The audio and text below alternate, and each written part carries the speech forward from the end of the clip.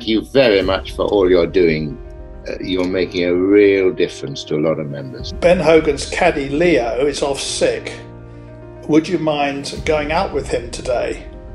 And of course, I said no, I wouldn't. I'd love to go out with him. Nowadays, I like golf very much. I mean, uh, don't claim to be any good at it, but I certainly enjoy playing, and uh, and I think the club and the course is fabulous, and the members are great.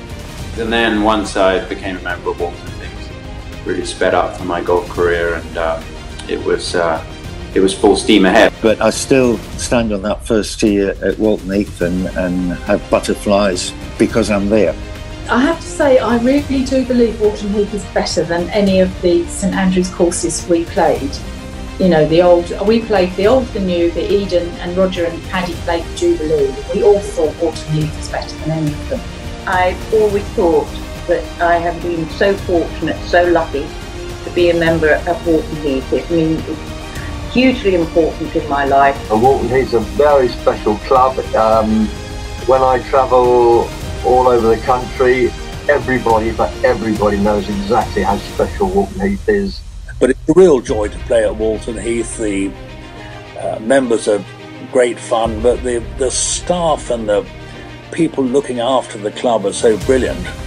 I think the glory of the club is its people, and it doesn't just stop with the membership.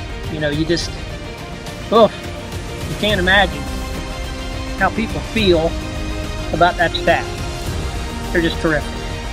But I really enjoy what I do. I really enjoy, and the members are, you know, they really are lovely. So we couldn't ask for better members. Which, and I'm not just saying that. I, you know, they really make a difference for our lives. Actually, it's such a excitement to think you're going to go and play at Walton in on either course on any day. It, it's just a good, it's just good fun. It's written on my heart. well, I'll always look to go going back home, as I, I call it, Dad. 16 terrific years at Walton Heath. Uh, some with success, some without success, but always with enjoyment. As Butch Harmon says, Walton Heath's one of the great golf clubs of the world, and not too many would disagree with that.